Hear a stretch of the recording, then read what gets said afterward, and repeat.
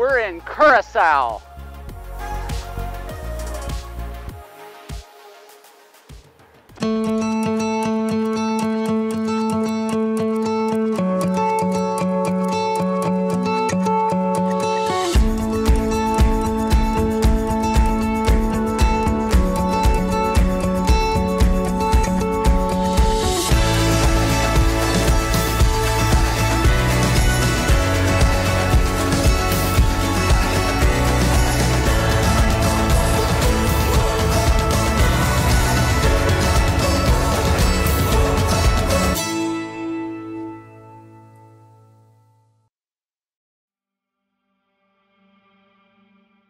The opportunity to stay at Bed and Bike here in Curacao, and this is a hostel that includes a bike with it.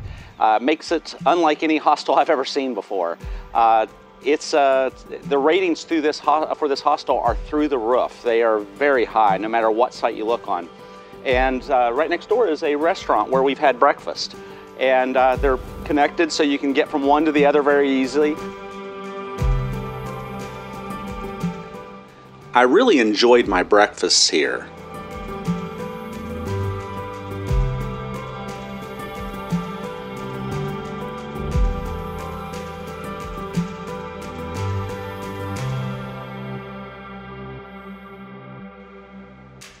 Now just because it is a hostel doesn't mean you can't have a private room.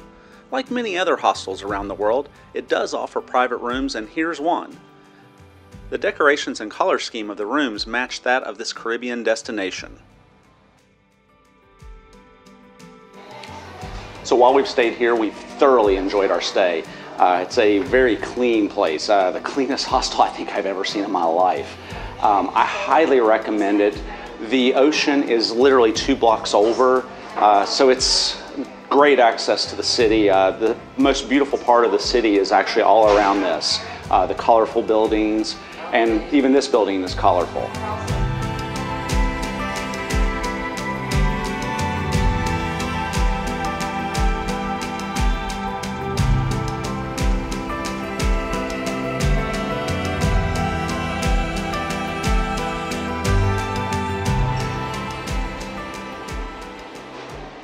okay, this is so cool. I've just got my bike from Bed and Bike, and now I'm gonna go check out the city. So let's go have a look.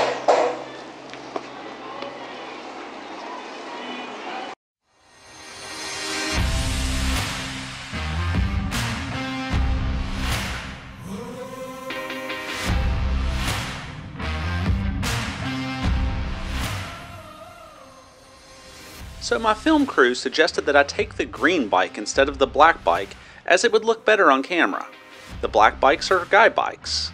The green ones are for girls. Does it really show up better on camera or is my crew messing with me again?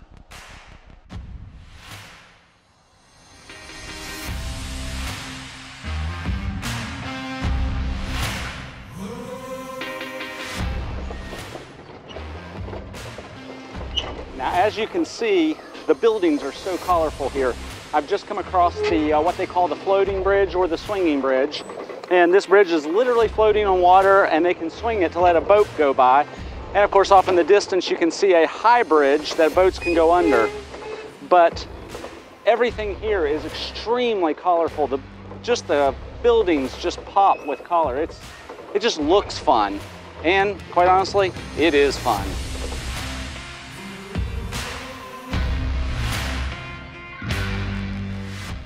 We ran across this awesome mural painted by Francis Sling. It's a plucked rooster with his feathers hanging out to dry on a clothesline entitled Naked, Come As You Are.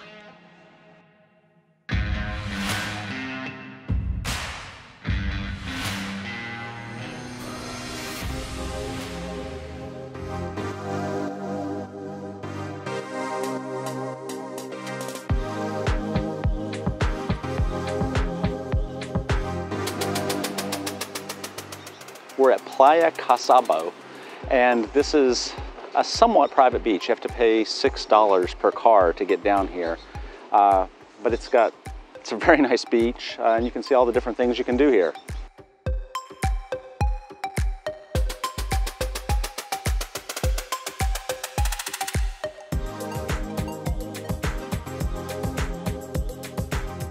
This beach is fantastic because you have so many options of things to do, and if you get bored with one thing, you can move on to something else.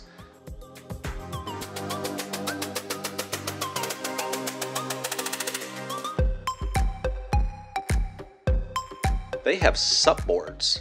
What's a supboard? Ah, a stand-up board. You can rent kayaks as well. While you're at Playa Cas Abao, you can get a massage and uh, there's lots of services that they offer here.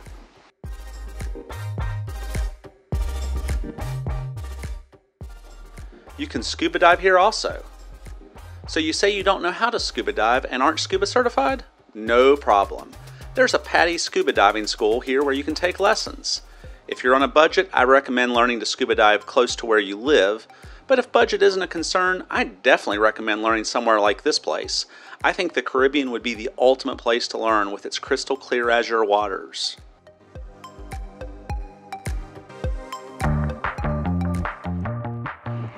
In Curacao, you can also come and check out the pink flamingos.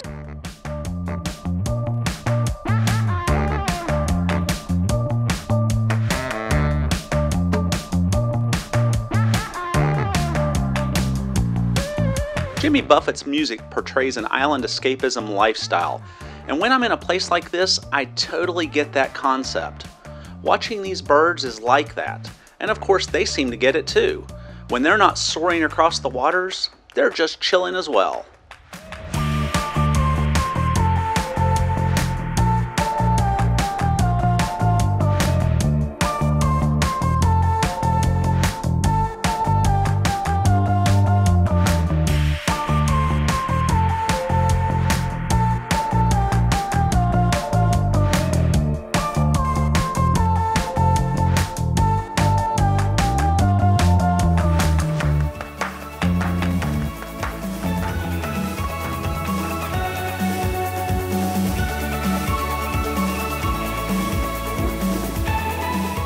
Once in a while when we go to a destination, we run across a hidden gem.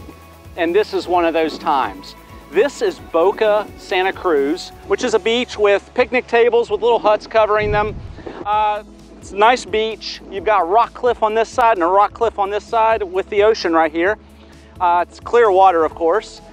But what I want to draw your attention to is this establishment over here. It's Captain Goodlife, and uh, it's an interesting name.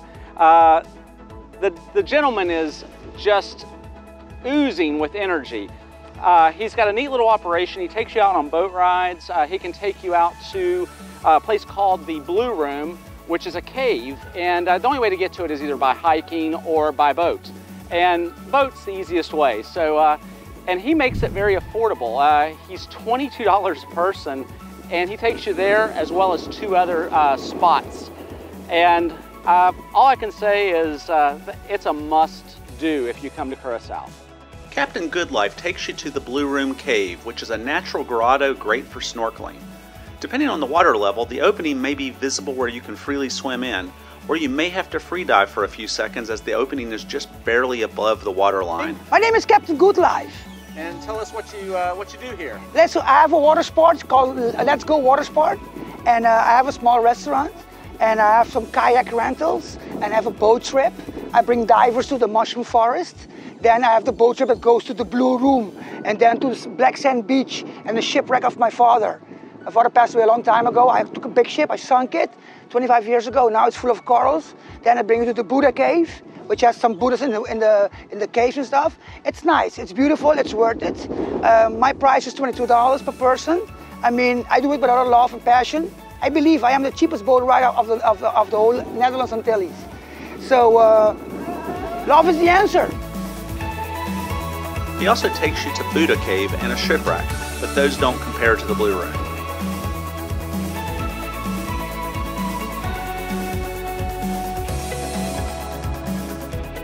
Some tips. Call ahead to make sure he has availability.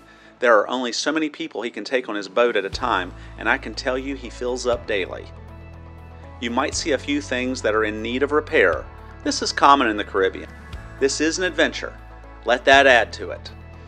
Just be cautious and you should be totally good. Trust me on this, it's worth it. You'll have a blast.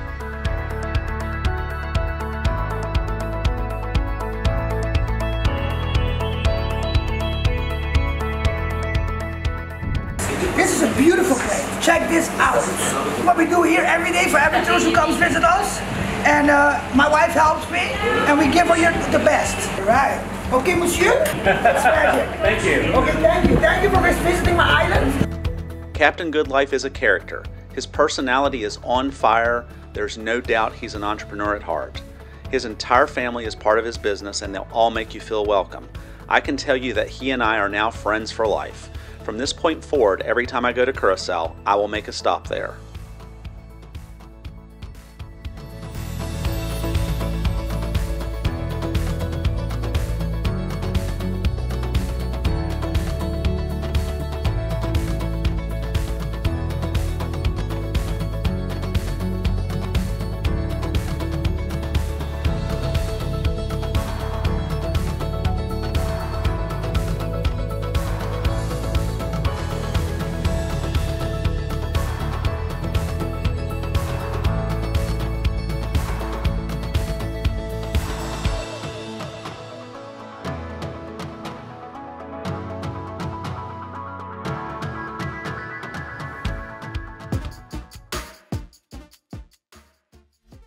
We're in the downtown district of Pietermaai, and behind me is Deja Vu. It almost feels like I've been here before. Anyway, this is a neat little area. You can see all the buildings are painted different colors. Uh, there's lots of restaurants and just a lot of, uh, a lot of art through this whole area.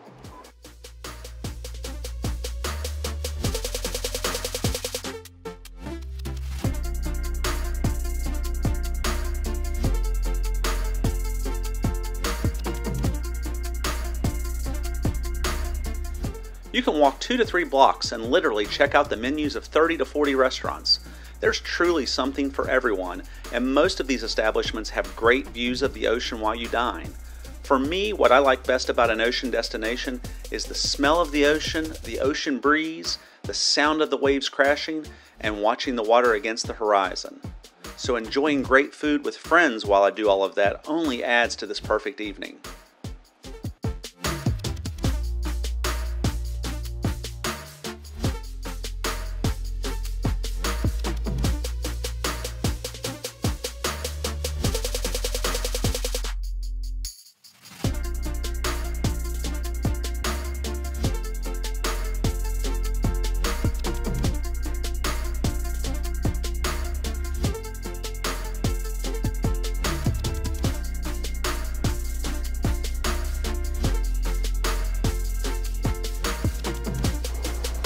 Outside the Scuba Lodge and they have a restaurant uh, out back that is oceanfront.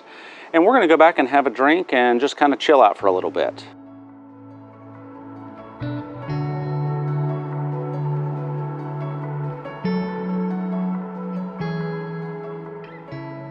The evening we arrived at the Scuba Lodge, they were having a buffet, which they do once a week, and they had lots of food options. We originally weren't going to eat, but when we kept seeing the food they kept bringing out, our crew decided we couldn't resist the temptation. This place tends to be completely booked on this night, so it's worth calling ahead to make reservations if you plan on eating.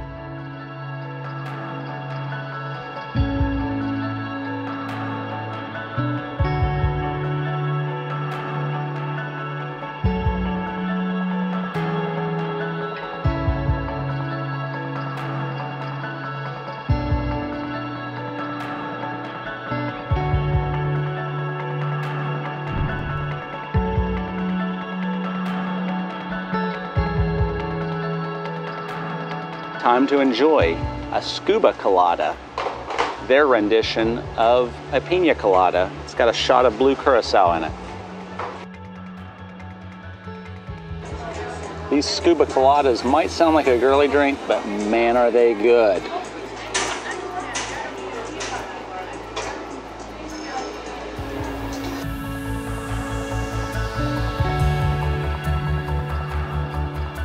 When we come to a destination, we always have a list of places we want to see. However, so often we have locals that tell us about destinations we otherwise didn't know about. This is one of those. This is Santa Martha. And Santa Martha is basically an abandoned beach resort. Uh, there is a monstrous lagoon over here. And then of course you got the ocean right here and this little small lagoon. But the lagoon back here is massive. Uh, there's these neat buildings up here on the hill and some of them look like they're still occupied, but most everything here is abandoned.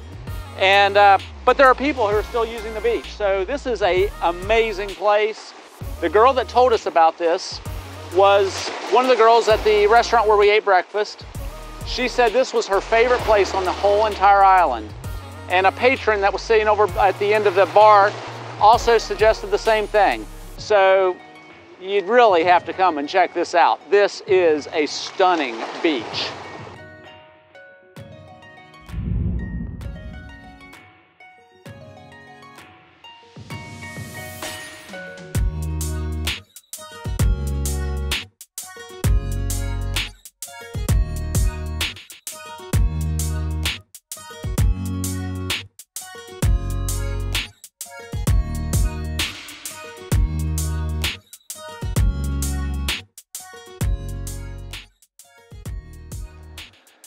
The entrepreneur in me wants to move here and fix this place up to be a resort.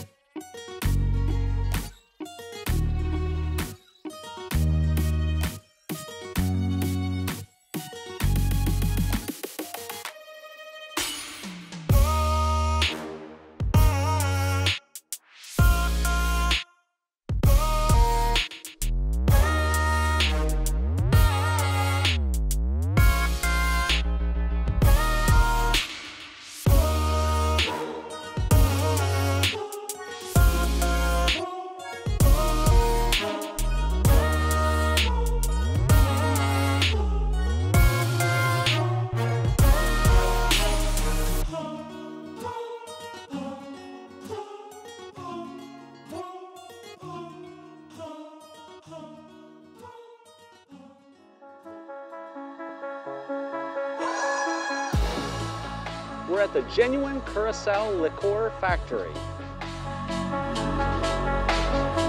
So most people have heard of Blue Curacao, but most people probably didn't know there was an island called Curacao from where its name was derived. And if you buy Blue Curacao, are you buying the original? Curacao is a liqueur flavored with the dried peel of the Lajara citrus fruit that is grown here on Curacao. Laraha is a bitter orange which gives the drink both a bitter and orange flavor. They started in 1896, and since then, they've added to their arsenal of flavored liqueurs.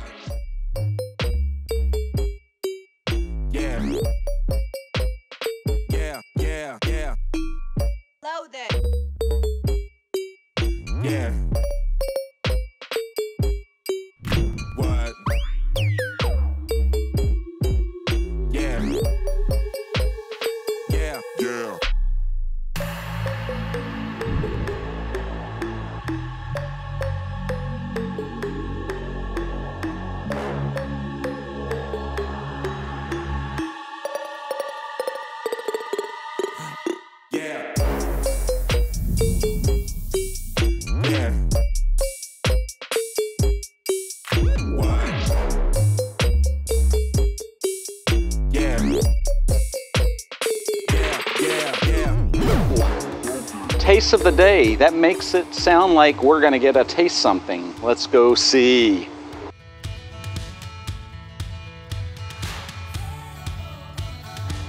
And I'm partial to orange. I'm a Halloween baby. Mmm. That is very good.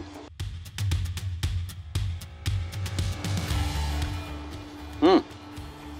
I think that one's better than the orange.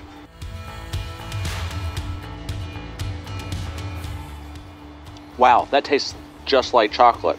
Oh, wow. That is really good. Let's see if anybody's watching, okay? I'm gonna get another chocolate.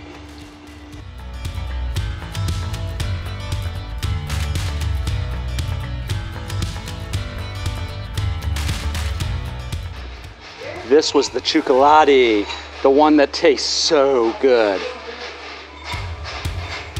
Short of the occasional glass of wine, I don't actually drink much alcohol, but chocolate is probably the most delicious drink I've ever encountered. You might even think of it as a rare indulgence.